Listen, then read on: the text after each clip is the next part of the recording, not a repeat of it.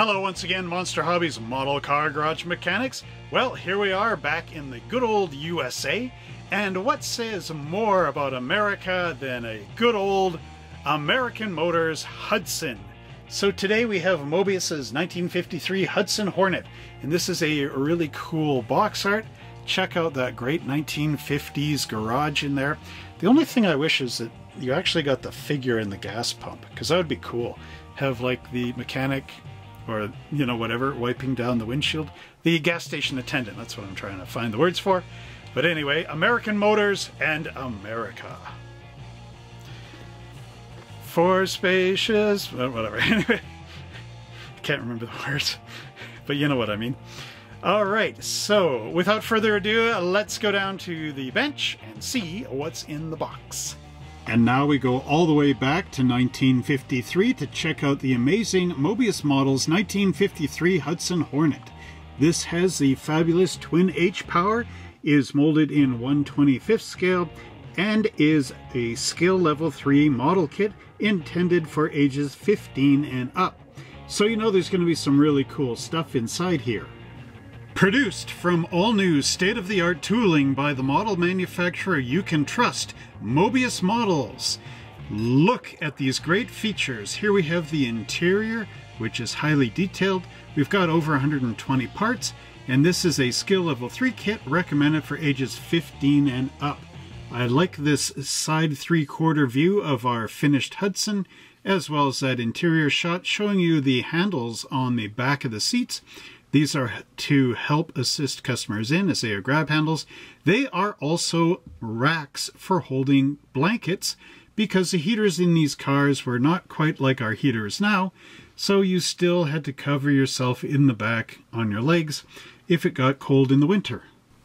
Check it out! We also have authentic step-down chassis, includes realistic decals for the engine bay and interior, and you also have a detailed H145 engine with an opening hood. Now here you can see the rear three-quarter of the car as well as underneath the hood with our twin H power. Really awesome. I can't wait to check this thing out. Now 1954 is the year that American Motors Incorporated However, American Motors was made up of Hudson and Nash, and I do believe Rambler as well, and they all merged to make AMC. So now let's actually see what's in our model of this Hudson by taking the lid off and putting it somewhere off camera. There we go. Okay, check this out. So here we've got a bag with some of the cool parts. There's that sun visor that's in there. Oh, we got chrome coming up next. Look at the nice big hubcaps on there. And the bumper. It's even open there for the license plate shrouds and whatever else is going on. Really cool. Now we've got our body right in here. Amazing stuff. And our undercarriage, look at how detailed that is. Alright, we're going to have fun when we actually open this up and have a look. There we've got our clear components in the box. We also have pad printed white wall tires. Then we've got our wonderful parts here, which has that twin H motor right, right there where you can see it. We also have the interior. Now this is a separate molded panel type interior. Builds up in a lot of pieces, which is really good. You can get all the detail in there. What do we have here? We've got a metal axle. That's cool. Then we've got our decals, which we will reveal the mystery at the end of the video.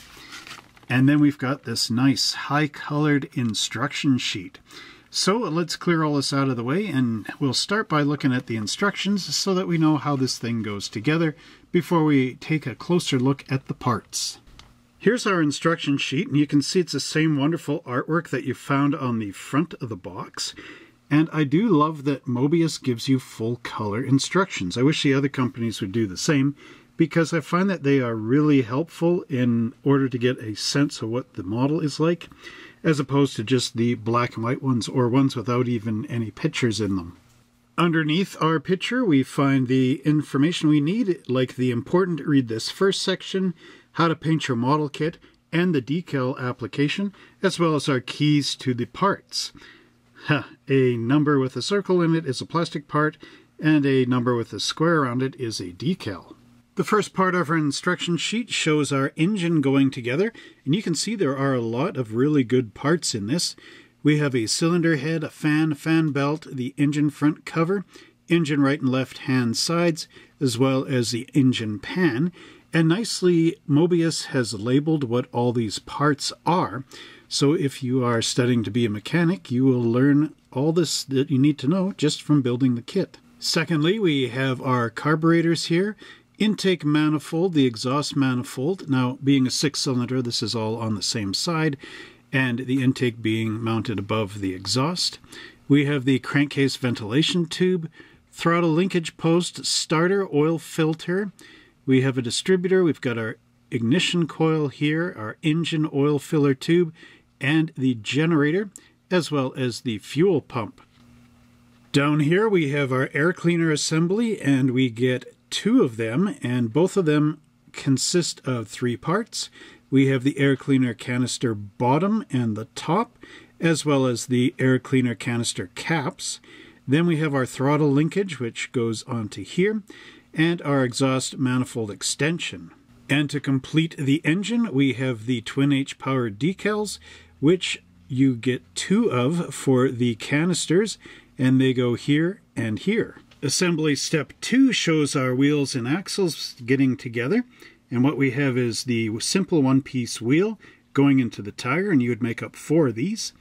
Then we have our front spindle and the brake backing plate. Now these would be drum brakes on this car. But there is the pin that holds them all together. So you would want to push this all through here and then just apply a little bit of glue on the end and glue your wheel to the plastic pin. Out back we have the backing plates on our differential and this is the two-piece axle housing. So you've got the top and the bottom going together. The differential is right there. Here we have our chassis assembly and this is really nice because you get a floor pan and a upper rear cross member. You get independent springs lower A arms. You also have a tie rod and, oh, this is a tie rod. This is the front sway bar. There's our master cylinder, and that actually glues under the floor here. And uh, we have a steel axle going through our rear plastic axle, as well as full leaf springs and a rear sway bar, two shock absorbers, then we have our drive shaft in here and our rear exhaust. So again, Moebius is really making these Hudsons a work of art. Moebius is really stepping up the game with their multi-piece interior for the Hudson, and what makes this really excellent is the side panels are wonderful for adding in the details like the door handles and the armrests, and with the multi-piece interior, it looks more accurate. Up here we have the decal location for our interior and what makes this nice is that it's easy to add the decals onto your kit. Here we have the dashboard and all the instrument and glove box decals, the steering wheel with the horn button decal going on, and our heater motor down here with a little emblem for Hudson going on in place. Now once that's all assembled, you have your steering column, your steering wheel, your dashboard, your heater, two-piece front bench seat with these handles on the back, again used as a handle or to hold your towels for, or blankets I should say, in case the heater doesn't get to the back. You can still be warm in winter. There's the inner door panels, which will glue onto here and here, and we have our pedal cluster down below. Here in panel 5 we have the engine installation and you can see our twin H power engine being put in place. There is a little circle down here and a pin on the bottom of the oil pan. Those two would go together with some glue in the middle and the drive shaft would hook up into the back of the transmission and then our exhaust manifold pipe would hook up to the exhaust pipe underneath the car. After that you have a lower radiator hose and an upper radiator hose, which is always nice for accuracy in the model, and those go onto your radiator. And here we have a decal going on top of the radiator as well. Panel 6 over here is the beginning of the body, And we have our firewall with a diagonal brace in here. And then we have the windshield wiper mechanisms there and there, as well as right and left horns. A decal also goes up here on our firewall. In panel 6B to E, what we have is all the pieces of our body being put in. So up here we've got a sunshade, we've got a radio antenna. It says, note, radio antenna is very fragile. Be very careful while cutting it off of the sprue. We also have a side view mirror, windshield wipers. We've got a grill, and here we have an inner grill support bar, left and right side parking lenses, front bumper, headlight bezels, and headlight lenses going in. Very nice. Did I say rear view mirror before? Can't remember. But you have two of them, left and right hand side. We also have our firewall assembly going up in there. We've got our windshield. We also have the sun visors here and here, side vent window wings, and then the rear windows and side glass. And then here we've got the gas filler door going right there. It's neat that they molded that in. I do believe this is for uh, their racing edition of the Hudson Hornet.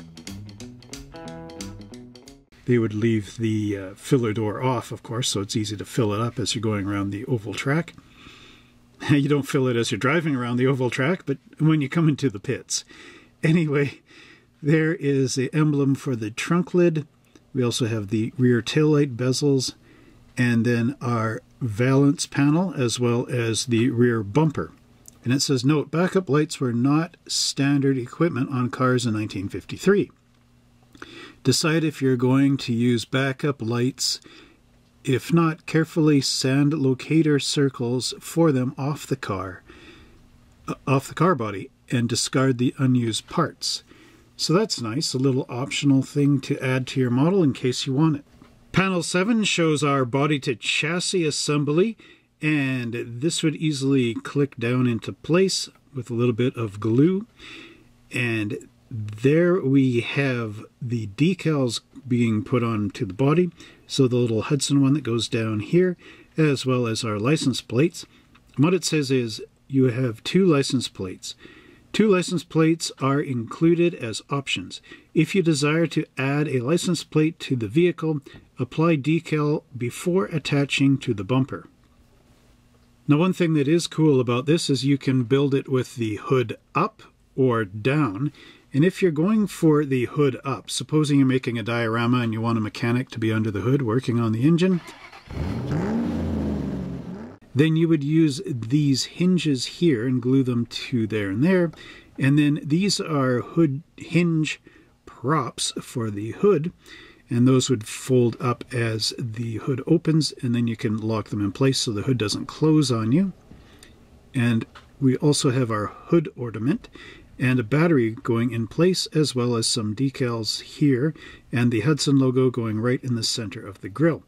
Now, I was watching a video with Jay Leno and his Hudson, and he was saying that this logo lit up at night. So that is really a cool thing. Now, what really makes these instructions stand out from the competitors to Moebius is the use of their full color illustrations. So here we have the under the hood, which shows you what it would look like all painted up, and the color callouts, and where all the decals go. Here we have the interior, again with the same thing. It says, note, the monochrome interior, oh sorry, note the monochrome interior. The Hudson Hornet had one of three available interior color schemes, gray, tan, and muted gray. See page 6 for details. So again, gives you an idea of what's going on. And here is the chassis underneath. Note Sorry, note the use of a variety of finishes from flat to high gloss on various parts of the chassis. This adds realism and interest to the completed model. See page 6 for color suggestions. Note how exhaust pipe and drive shaft pass through oval holes created by upper cross member. Be sure, oh, upper cross member and frame. Be sure pipe and shaft are in position on frame before gluing upper cross member in place. Note the subtle weathering on various metal parts of the chassis which provide a realistic appearance to the model's underside. So again, these are really helpful hints from Moebius. Down below, we have the dash and firewall as well as the engine, and there it shows the decals for the speedometer, the fuel and temperature gauge, the clock, ashtray, glove box, radio, heater emblem, cowl label. That would be on the top of the firewall. And then over here we've got our engine, and it's showing the intake manifold, exhaust manifold, all this stuff. And again, really well done by Moebius and really helpful to the model builder. Here we have the body exterior. We've got the trunk lid decal right there. License plate in place. The Hudson emblem. Ah, that's what it is, the rocket with the H's in it. And then here it says, note that this build-up utilizes a custom color scheme. See page 6 for a detailed list of historically accurate Hudson Hornet factory paint schemes. Again, all that attention to detail really pays off on this model. Here we have page 6 for... Here's page 6 that the instructions were referring to earlier, and what we have here are boxes with the suggested paint colors, body colors, upholstery colors, and two-tone color combinations. So the paints we need are flat rubber, flat black, burnt iron or rusty iron, semi-gloss black, gloss yellow, steel, chrome silver, wood, and clear red. And for an example, they have paint the fan belt radiator hoses, hoses on the heater box with the flat rubber. For body colors, it says the 1953 Hudson Hornet body came in a variety of factory colors, including some striking two-tone versions. Although you may wish to paint your Hornet in a custom color of your own choosing, those desiring historical accuracy may refer to the following list. Original Hudson factory paint codes have been provided along with the corresponding Ditzler code. There are many automotive paint sources that provide historical color matching. So these are monotone colors. You got Broadway Blue, Robin's Egg Green, Pearl Gray Poly, Texas Tan Poly, Southern Blue, Ebony Black, Toro Red, Honey Cream, Bluegrass Green, Surf Green, Seal Gray, and Meadow Green Poly. Down here we have the upholstery colors and it says the 1953 Hudson Hornet interior consisted of one of three coordinated monotone interiors, gray, tan, or muted blue. Various shades of each color were used in specific areas of the vehicle interior. Carpet, dark gray, tan, or muted blue. Seats, front and top, medium gray, tan, or muted blue. Seats, pleated inserts, light gray, tan, or muted blue. Headliner, light gray, tan, or muted blue. Here we have the two-tone colors, so you have to match up the numbers up top, like here's Meadow Green Poly, 41303 and it should be down here. So here's 41303, and then the top colors are going to be something a bit different again. So here we have a two-tone with 80600 and 41298. So looking up top, I'm not sure what 80600 is as it's not listed here. But there is the bottom color. So 4129 is the Robin's Egg Green. There is also a big thank you from Moebius Models down at the bottom, and I won't read all of this, but it's a thank you to the Hol Hostetler's Hudson Museum, and then we have a website here as well, and Arthur Anderson and Bill Coutier, or Coulter, John Mueller, Dale Cooper, and you, the builder, for supporting the hobby by purchasing this kit.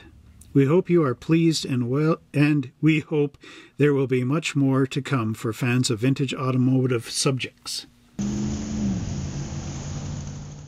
Now let's take a look at our wonderful Hudson body here, and you can see right away that it is really cool.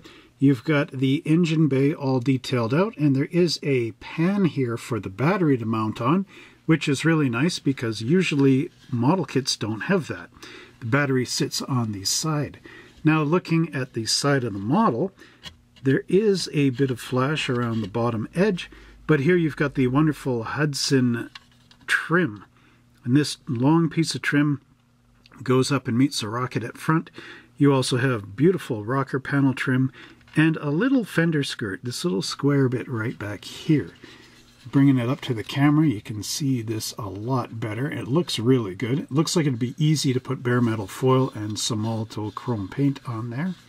There's a slight seam line running right there up along the headlight and coming down into here. So you'll have to deal with that. but it looks like a little bit of fine sandpaper would finish it off. Check out that engine bay. Now there's that pan in there again.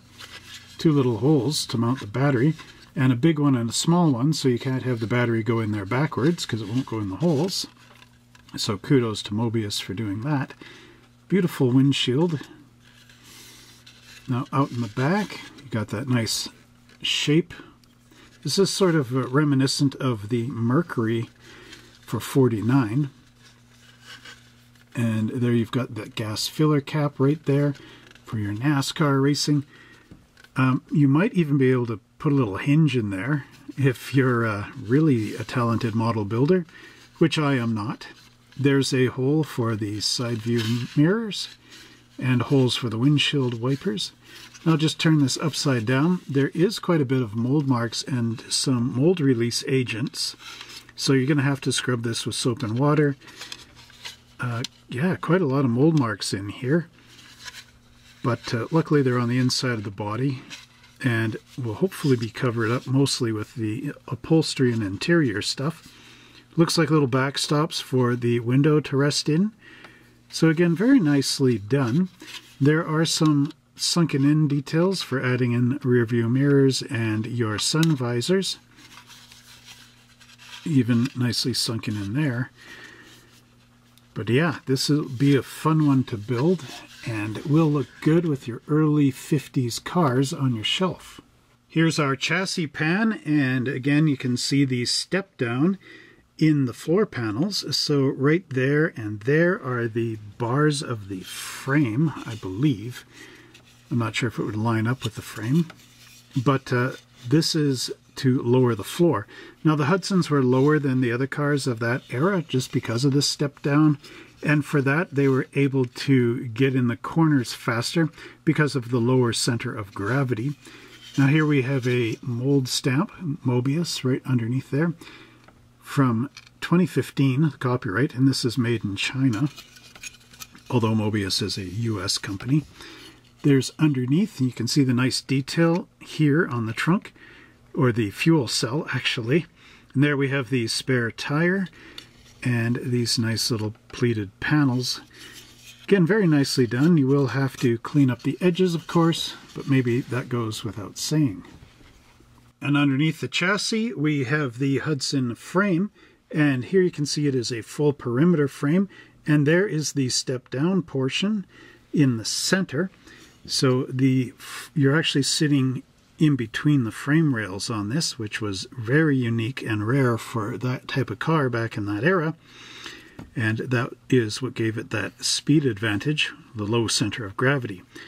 And you can really see how much they stepped this down by looking at the sunken in frame rails in the middle. Again, really cool how Hudson did this. Here you got a little tube, I think this is for your gas filler pipe right in there. neat stuff. Take a look at that area there. That is, of course, your cross member for your steering, your front suspension. Again, really cool. So what I'm, I've noticed, actually, there's a crack right in here. So I don't know if your frame has that. Hopefully not. So I'm going to have to apply a bit of liquid glue in there and then just hold these together. Maybe I could even slot a little tiny piece of plastic in there just to act as a brace. But this here, we've got our interior. So now you can see how this uh, ended up working. So corresponds to this area here, which is where our seats are going to mount. But that's also that area that's sunken in for the cross member. So now you're beginning to see just how low the chassis is into that frame. And if I just turn around here and grab the body back again, remember this was all put together in the kit, or sorry, in the packaging. so here, well, let's do one at a time. So now we've can see how the chassis comes in. And it's got these little uh, little blades that are sticking out here that almost touch the inner fender apron. I don't know if, no, I don't think they would, but then we've got our frame going into the chassis. And it looks like the fit and finish is really nice on this. So once the interior gets side panels, it should sit up like that. And there you have the Hudson underneath. And again, it looks really nice and detailed, really crisp, and should be a lot of fun to put together. On this parts tree, it looks like we've got two sun visors and our wheel backs for the drum brakes, as well as suspension components and the pins for the axles. One thing that is nice is on these kingpins, they have this nice deep collar right in here, which should help align those pins. And uh, that is part of the problem with this pin arrangement is if this isn't a long enough collar, your wheels tend to flip in and out. That's what's going on on my 1969 uh, Ford, what is it, the Cobra kit from AMT. The wheels have a little bit of droop, and then when you put them on the table, they straighten up because there's the pressure, you know, on the wheels. But with this, it almost looks like there wouldn't be that instant. So that's always nice. There's the horns and the springs and our master cylinder for the brakes. Again, really nice looking stuff. This even looks like some racing components. These would be straps for holding down the Hudson hood and trunk lid, but I don't think they're part of this particular build.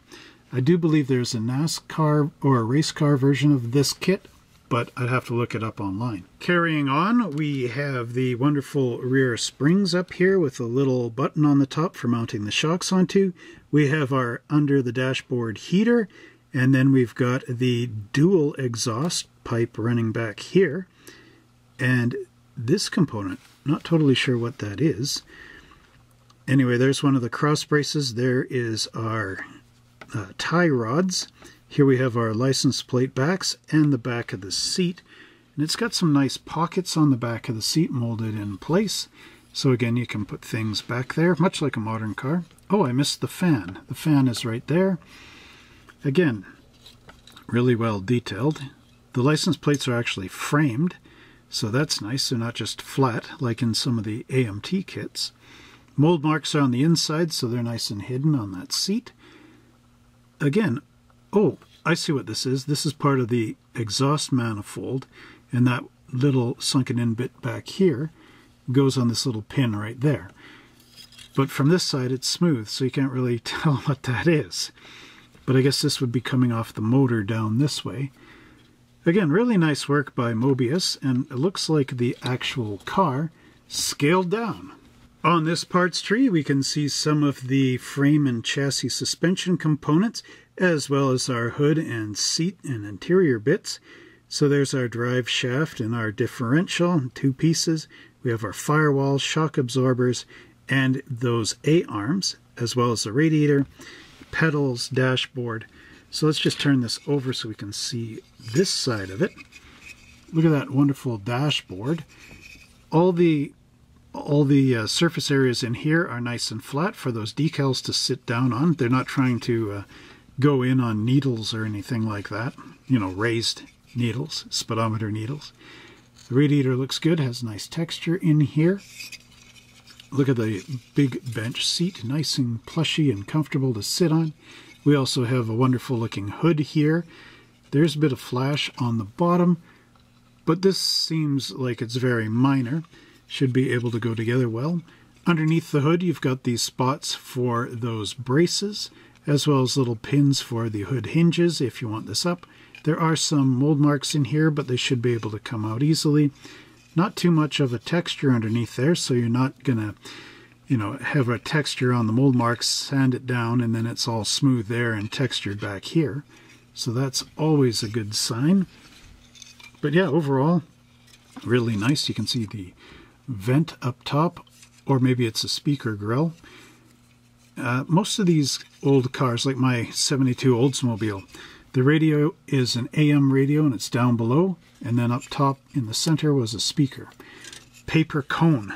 I remember when that ripped, the nice uh, music all of a sudden was going because the paper cone ripped and was vibrating together all weird. But yeah, overall, I would give these parts a A+. plus. Here we have the parts tree that contains all our engine components. Right and left hand side of the engine block, the oil pan, the cylinder head, our exhaust manifold, our intake manifold, the carburetors, and the battery as well. Again, look at the nice attention to detail you get in this. Looks like the real thing, only smaller. The six cylinder was the most powerful in this year. It actually had 10 more horsepower than the Oldsmobile V8 with the overhead valves. So that is saying quite a lot. Again, nice work in there, nice clean and crisp, minimal flash. Turning it over, there is a bit of flash and mold marks up underneath here. so make sure you have them all nice and flat so that everything fits together nicely. Be interesting to see how these alignment pegs go into the holes because I know that can be quite a problem with some of the other manufacturers' model kits. And usually I cut the pins off. But there is a double lip sort of thing in here, if you can see it. You got the flat edge of the engine, and then this little blade comes up and goes around there, and that will help align it because there's a sunken in portion on the engine block as well. So these side pins may or may not really matter for putting the engine together, but it is always nice to have an extra spot for glue. So a little bit of liquid cement in there and then push it all in should work out well. But overall, I'm quite impressed with this look at our engine parts.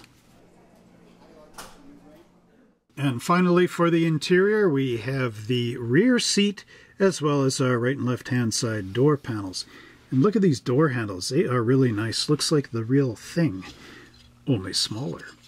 There's quite a lot of handles on this front door. Window winder, the handle to get out. Oh, yes, I know what it is. One of these would be the winder for the no draft or little side window. And then the, I take it the lower one would be for the the passenger window.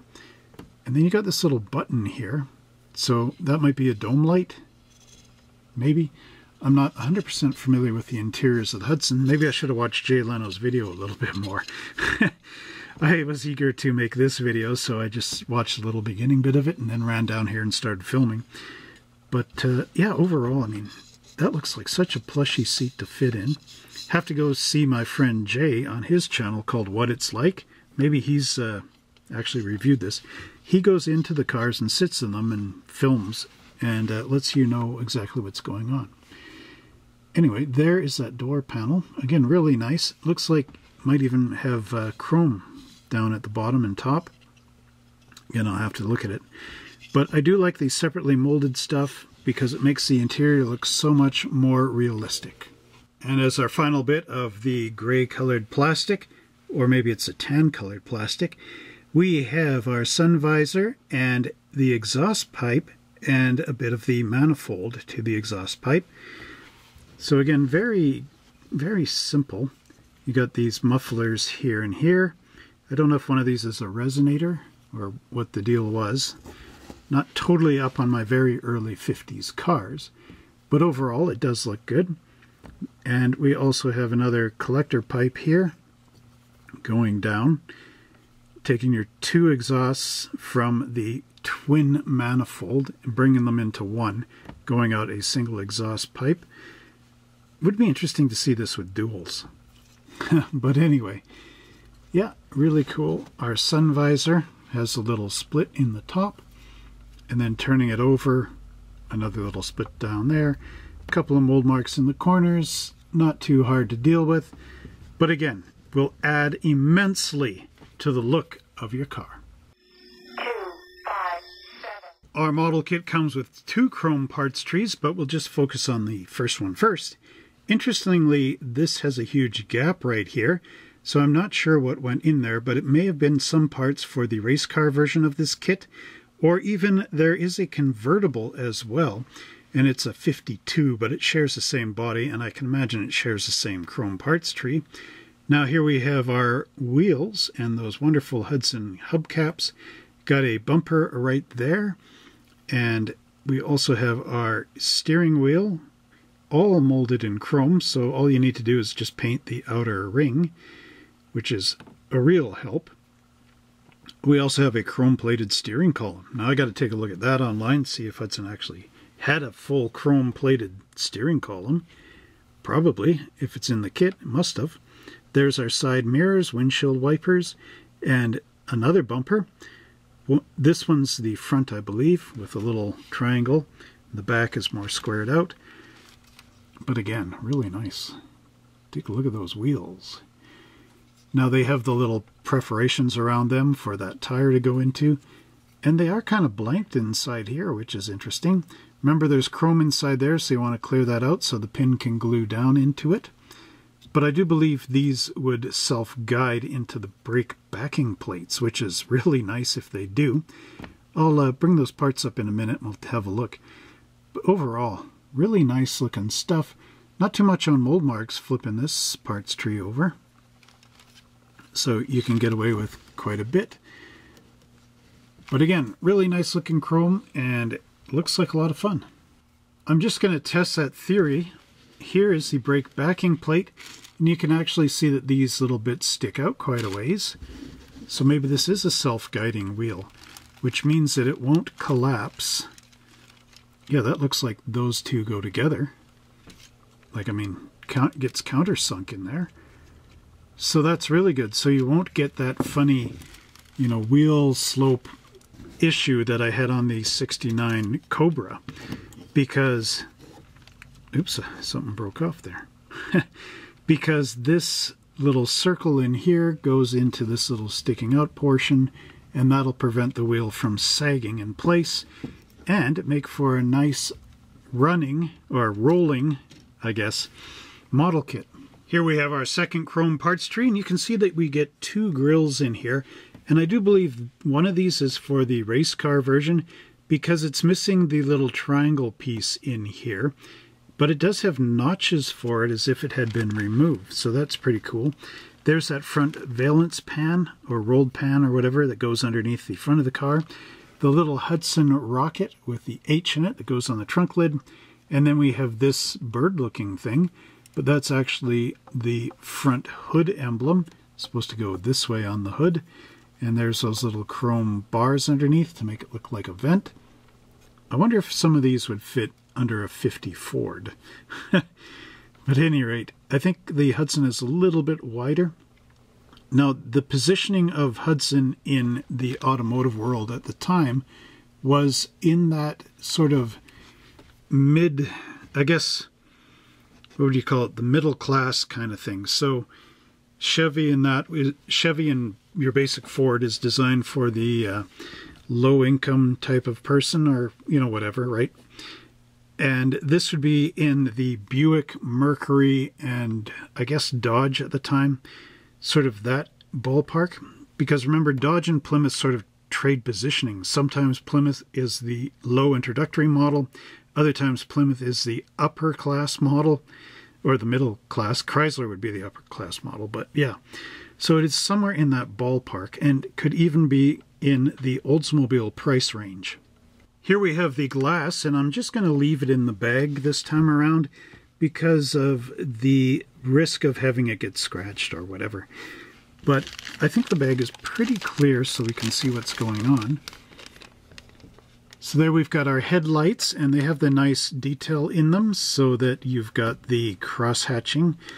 And remember to have this go north and south, east and west and not at some weird angle. We also have our front windshield, and it's got a little notch right in here, so it will line up with that center bar. And that is really good. I wish uh, AMT had that on their 49 Fords instead of the bar just sitting on top of the glass. This is countersunk. There's our little lights. Again, lots of small stuff. And our side no-draft windows. There we've got our rear window. Oh, those little holes on the inside of the car are meant for locking in onto these tabs. up here and here. And then we have red tail lights, which is always nice.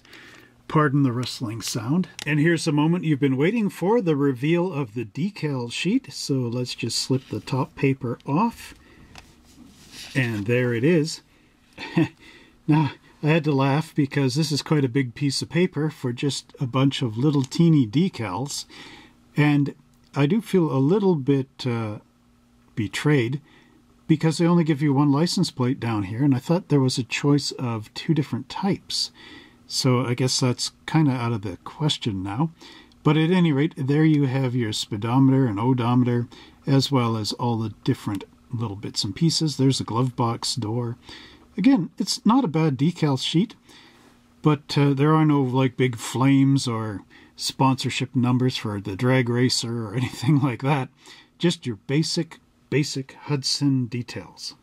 Here we have the wonderful looking tires for a 1953 Hudson, and you'll notice that there are no manufacturer names on these like Firestone or Atlas or even Goodyear. They are nondescript. That's okay. Now, if you want to have the black wall, you could always just put the white walls in. A lot of people back in the 50s did that. My dad was telling me. Now, on the edge, you've got this wonderful looking tread in here. Again, really nice, big, thick tires. They look like they would be able to support the weight of this Hudson. Now, normally, like something like the AMT 53 Ford, they have the really skinny tires, which I guess is ample, but these look really wide and meaty. So again, really awesome looking stuff from Moebius. After we've seen all the parts and the instruction sheet, I would say that this model kit is a pretty good advanced kit for anybody that wants to build it. The parts count is great. The colored instructions are also really nice. The paint color callouts really help as well as the optional bits in the kit. So if you're looking for something more advanced, skill level 3 is your go-to with this amazing 53 Hudson Hornet by Moebius. America, America, God shine its light on thee. Bum, bum, bum, I hope you enjoyed that great video where we got to take a look at Moebius's 1953 Hudson Hornet. Now, if you've built this model, I would sure love to know how you enjoyed it. Did it go together easily? Did you have to file something off of something to make it fit? Let us know in the comment section down below. Now, if you really dig these great videos and you want to see more of them, you can't get enough, well, click that subscribe button and you can become a subscriber. Also click on the notification bell and get all the notifications, especially on your phone. Now, phones are modern technology, and that's where it's all at, man. No more rotary phones for you. Now you get a phone camera and everything else right on your simple phone. So basically, click that notification bell, turn on all notifications, so when I upload a video, hey, what's this on my phone? It is a cool uploaded video from Monster Hobbies Model Car Garage. I'm going to watch that now. And that's what happens to you if you click those notification bells. And say, if you're already a subscriber to this channel and you want to turn the volume up a little bit and go to the next level, up that staircase, up the ascend, ascend, ascend Jeremiah up the stairs. click that join button and become a member of this channel for as little as $2 a month. $24 in a year, you know, monthly. You get to become a member. You get to show your support. And by doing that, you get your name at the end of the credits, like these great people did here. Unfortunately, it's kind of hard to see the names because you got red, white, and blue. And, well, maybe you can see them up here, but the stars, you know, knock out some of the letters as it scrolls up. But at any rate, I won't have this American flag up all the time, so you will get to see those names. And one of those names could be your name. And I also have Patreon as well but that's another story. But anyway, the names. So there they go up the screen, and you could be on there if you're a member. Now that just shows that you're a member of the channel, but what else happens? Well, here's a cool feature that YouTube has. I'm not sure if you know about because it's fairly recent. Basically, when you become a member, and let's say, uh, let's say I never, oh, let's say, oh, here. Here's an upcoming model video, which is going to be next week. We'll see what this is next week. anyway, so for subscribers and everybody else, next week you're going to see what's in this box right here, what this mystery model is.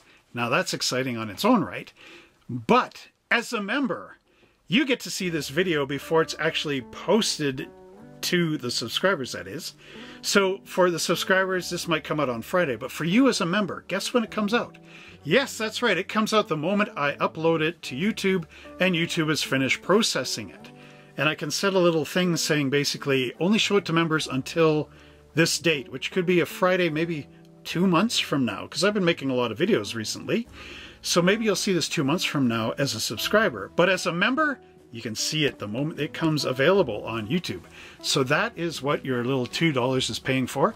Your $2 is also paying so that I can get some more model kits and maybe something like new lights, because maybe this one's starting to wear out or whatever, or a new camera one that's not keeping me in the shadows, even though I've got like four lights set on daylight all around me. I, I can't understand that.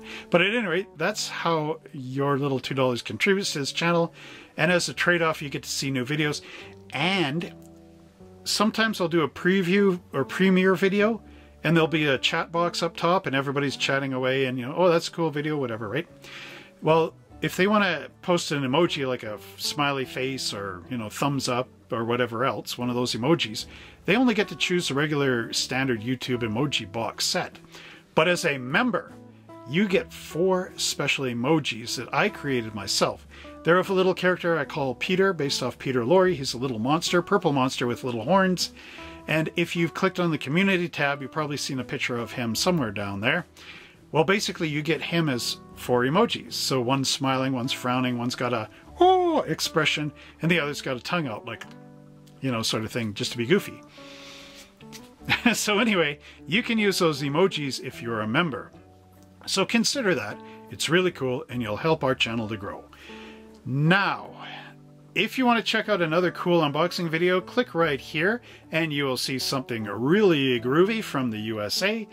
And if you want to buy some models, because I also own a hobby shop, Monster Hobbies, of course, hence the name of my channel, click on this icon down here and it'll take you directly to our website where you can check out some really cool model cars, old and new, rare and common. So until next time, everybody, happy model building and we'll see you in our next country.